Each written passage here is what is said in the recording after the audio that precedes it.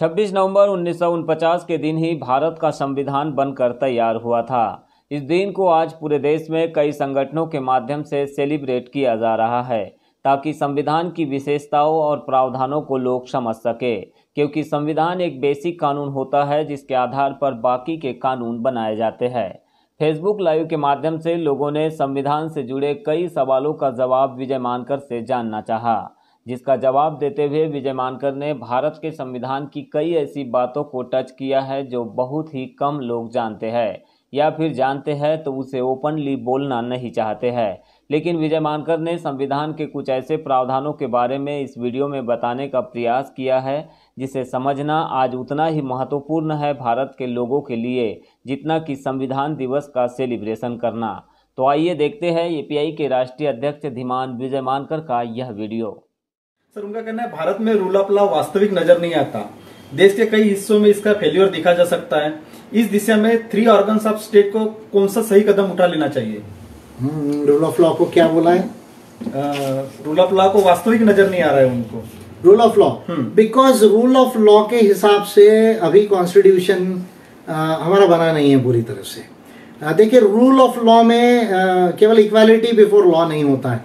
Equality in law होना चाहिए। Fairness के प्रोविजंस होने चाहिए कॉन्स्टिट्यूशन के अंदर में। सेटल्ड प्रोसीजर्स होने चाहिए। लॉ प्रॉपरली इनेक्ट होने चाहिए प्रॉपरली प्रोक्लेम्ड होने चाहिए। और uh, ये तमाम चीज़ें अगर ना हो तो रूल ऑफ़ लॉ कंप्लीट नहीं होता है।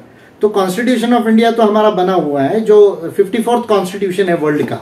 It is not the first constitution देखिए British constitution was the first convention जो है अनरिटन कॉन्स्टिट्यूशन के ब्रिटिश कॉन्स्टिट्यूशन थे। uh, फिर American constitution is one of the first written constitution जो है. And there is one country I am not able to recollect अभी मैं शायद गलत बोल दूँगा वो कंट्री को. उसका कॉन्स्टिट्यूशन भी यूएस के बराबर बराबर है.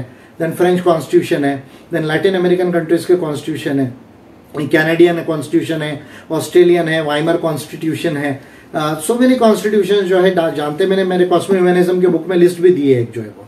Indian constitution is the fifty fourth constitution and the major 70% portion of this uh, constitution prevailing constitution has been taken uh, from the government of india Act 1935 remaining provisions have been taken from the american constitution canadian constitution uh, to a limited extent Weimar Constitution of Germany and then Swiss Constitution limited way में Australian Constitution uh, ये जो है constitution से mainly provisions लिए गए तो Indian constitution कोई original thought नहीं है इस बात को हमें ध्यान में रखने की ज़रूरत है। दूसरा इंडियन कॉन्स्टिट्यूशन अच्छा है लेकिन परिपूर्ण नहीं है।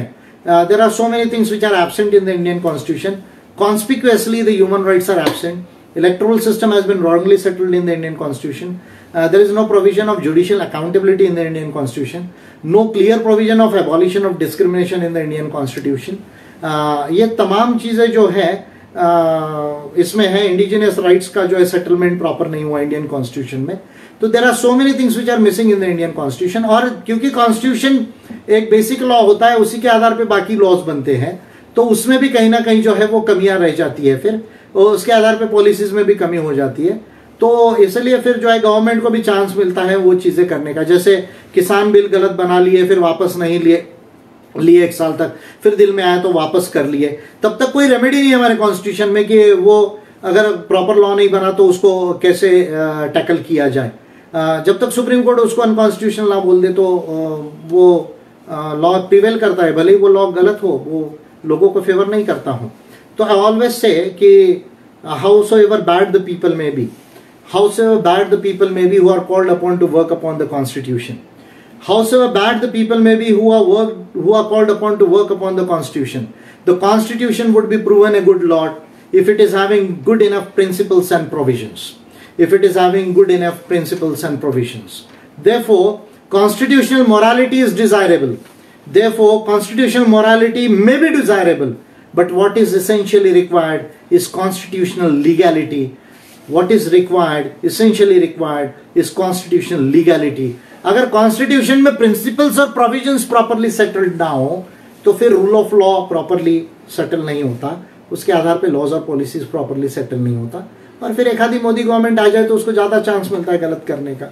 तो therefore I am speaking about the expansion of constitution of India and making it it consonant with the rule of law जो रूल ऑफ़ लॉ की बात यूनाइटेड नेशंस करता है यूरोपियन यूनियन करता है आ, उसके करीब लाने की इसमें ज़रूरत है। प्लस इसमें जो भारत की टिपिकल जो जैसे इंडिजिनियस राइट्स है या अफर्मेटिव एक्शन और रिजर्वेशन के प्रोविजंस है इसको भी प्रॉपरली सेटल करने की ज़रूरत है इसमें। सर भानु प्रताप सिंह जी का सवाल है कि इंडियन कॉन्स्टिट्यूशन में ह्यूमन राइट्स नहीं है।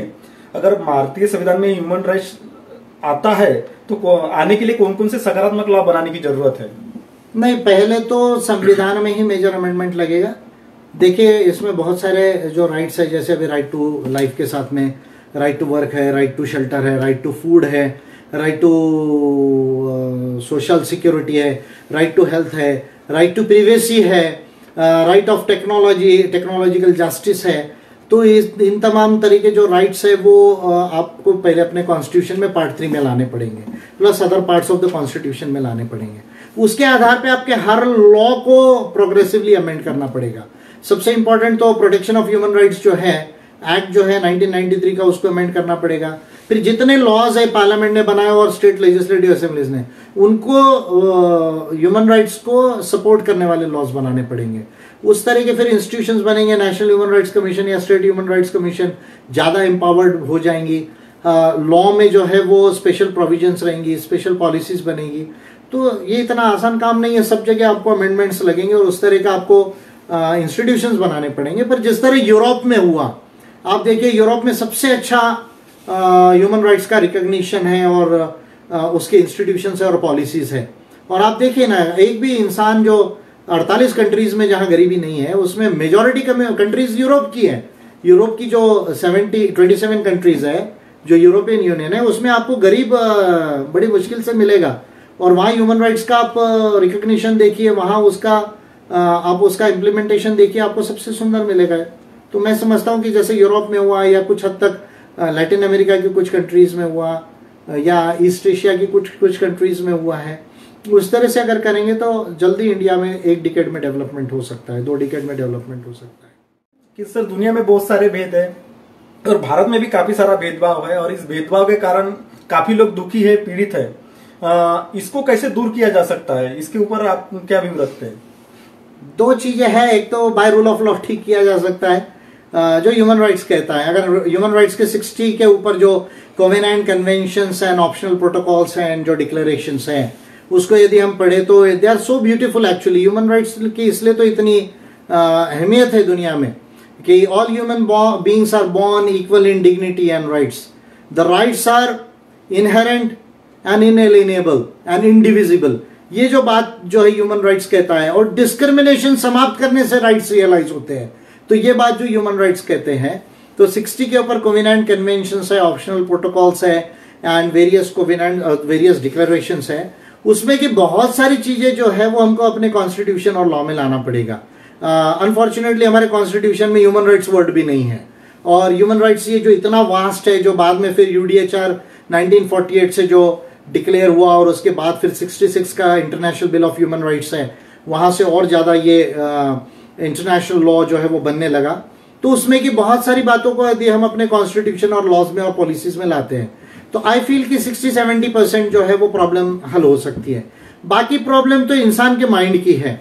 देखिए, जब तक हम, जो चीज़ साइंटिफिक है ही नहीं, जो चीज़ नेचर में एग्जिस्ट ही नहीं करती है कॉस्मोस में एग्जिस्ट ही नहीं करती है उन चीज़ों को, उन धर्म को, कोई भी धर्म हो, या उन कल्पनाओं को, उन विचारधाराओं को, उन मिथकों को जब तक हम मानते रहेंगे, चाहे वो बात किसी ने भी कही हो तो तब तक जो है वो इंसान जो है, वो सच्चाई को नहीं समझ पाएगा।